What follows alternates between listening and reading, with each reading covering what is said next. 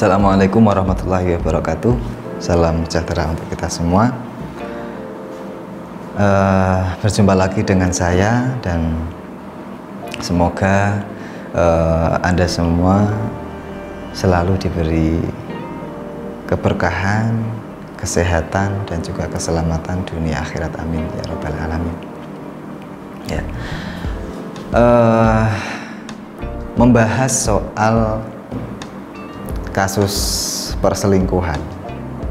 Ya, uh, saya sudah banyak sekali membuat video soal uh, tips asmara dan juga rumah tangga. Namun saya yakin banyak di antara Anda juga masih merasa was-was ya, takut pasangan itu tergoda oleh orang lain.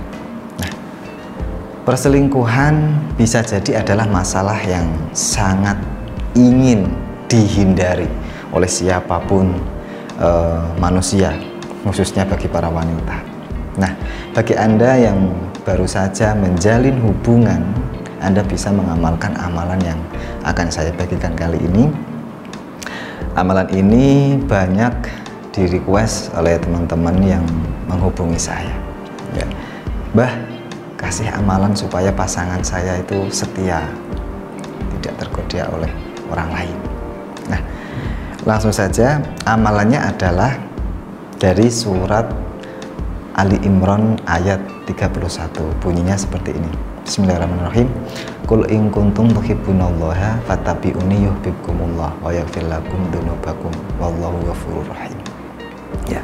Nah, anda dapat mengamalkan doa tersebut sesering mungkin ya dan coba untuk continue atau istiqomah bisa Anda baca ketika selesai sholat fardu atau sholat sunat. Selain dengan mengamalkan doa yang eh, tadi sudah, sudah saya sebutkan, tentu Anda juga harus memulai untuk menanamkan sikap setia pada Anda sendiri dan tentunya harus saling percaya satu sama lain. Dalam artian jangan terlalu uh, mengekang pasangan Anda. Nah, dan bagi Anda yang ingin menggunakan sarana pengasihan untuk membuat pasangan semakin sayang dan cinta serta setia pada Anda, Anda bisa menggunakan sarana tali Roma pengikat kasih. Dan seperti apa penjelasan dari sarana tali Roma tersebut? Silahkan kunjungi website resmi saya di bakarpengasihan.com atau hubungi admin di nomor yang tertera di deskripsi atau layar kaca video ini. Itu dulu yang bisa saya sampaikan kali ini.